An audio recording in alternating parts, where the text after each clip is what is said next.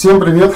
С вами снова Виктор Балит. Сегодняшняя тема 7 секретов счастливого человека. Ну вот эти все секреты, так называемые, да, то есть это не что иное, как просто знания, которые каждый из вас, может быть, уже знает. Да. Ну, как-то у нас в жизни устроено, вот мы много чего знаем, но не делаем, не применяем это, не применяем то, что знаем. Знания, они одни только не помогают, да, нужно обязательно применять их в повседневной жизни. Семь секретов или семь советов, как стать вообще счастливым человеком или свободным. Секрет реальности. То есть секрет реальности это очень интересная штука. А, первый секрет у нас был секрет свободы. То есть как освободиться, как э, выйти из этого колеса, в котором как белочка крутится большинство людей на этой земле. Да? То есть как стать свободным. Очень интересный у нас секрет. Второй секрет это секрет реальности. Секрет реальности говорит о том, что любая наша мысль обязательно материализуется. То есть любая наша мысль обязательно материализуется. То есть другими словами, вот все, что мы себе задумали, обязательно воплотится вот реально. Но при этом, конечно, мы должны думать, первое, о чем-то хорошем, да, это должно быть обязательно хорошее. Второе, как говорится, мы должны уже знать предел своих возможностей, реальность, то есть этот мир вообще, что возможно, что невозможно. И тогда мы можем написать это на бумагу нам, повесить, например, перед лицом куда-нибудь на доску и постоянно об этом думать. И думать, где, как, что, где может случиться в этом направлении. При этом, как говорится, не забывать то, что есть универсум, есть Бог, который тоже видит, о чем мы думаем. Это как отец-сын. Вот представь себе, ты отец, например, или мама, да? У тебя есть сынулька. И вот этот сынулька, например, он взял карандаш, какую-то машинку, красненькую машинку, вот такие-то колесики, да, вот такой-то корпус, и повесил себе над кроваткой. И тебе каждый раз говорит, мам, вот такую машинку, игрушку я хотел бы себе заиметь. Вау! Я был бы самый счастливый ребенок на этой планете Земля. Вот хочу такая машинка, вот так, так, так, мам, красная, у нас четыре колесика, вот то, то, то, белая крыша, там, то, все. И ты знаешь, я примерно знаю, там в таком-то магазине ее видел, например, Лего, стоит там 50 евро, Буа, столько денег.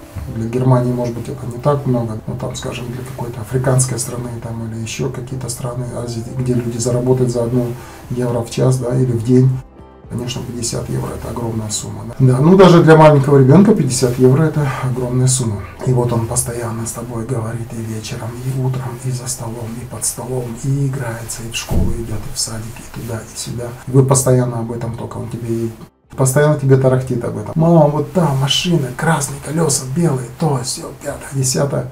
И ты, как любящая мать или любящий отец, думаешь, ну, надо же, вот он что-то задумал такое, вот эту машинку приобрести. Надо ему помочь, моему сыну. И ты начинаешь предпринимать какие-то действия, и потом один прекрасный день сын просыпается или приходит домой, и ты ставишь ему коробку такую, он раскрывает ее, и там такая красная машина с белой крышей, с четырьмя колесами и так далее и тому подобное. Как раз то, что он себе представлял. И он, конечно, на седьмом небе, он тебя обнимает, целует, и он самый-самый счастливый ребенок в этот момент на земле. Вот это называется секрет реальности. Любая наша мысль обязательно станет, проявится, станет материальной. То есть, если ты, например, даже имеешь огромнейшие мысли, скажем, ну какие могут быть, ну вот кто-то, например, задумал себе конкретно, да, я выучусь, получу хорошую профессию, да, и стану там инженером, да, и вот все время только в этом на одном направлении работает. Ну, конечно, он выучится, конечно, у него будет хорошие оценки, конечно, он станет хорошим инженером. Если кто-то, например, поставил себе цену, не знаю, там, только мечтает об этом, там, дом построить, да, то он будет сутками работать, будет смотреть, как где сэкономить, какие кредиты получить, то есть где, чего, как, но это должно быть реально, не так, чтобы ты сегодня что-то купил, завтра у тебя отобрал банк. То есть и во многом, во многом, во многом любая наша мысль, она материализуется.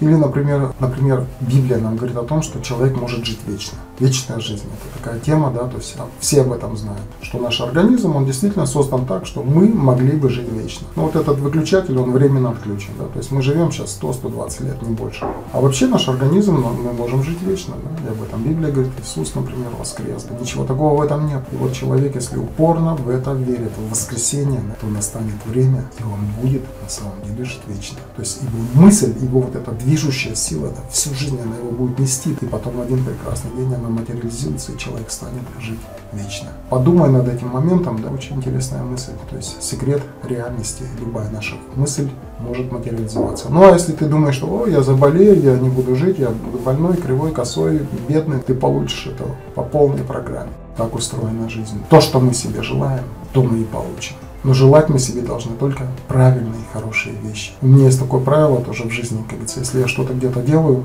я стараюсь руководствоваться этим правилом. На немецком языке оно означает так. Tue das Richtige, es das Richtige ist. Делай хорошее, потому что это хорошее.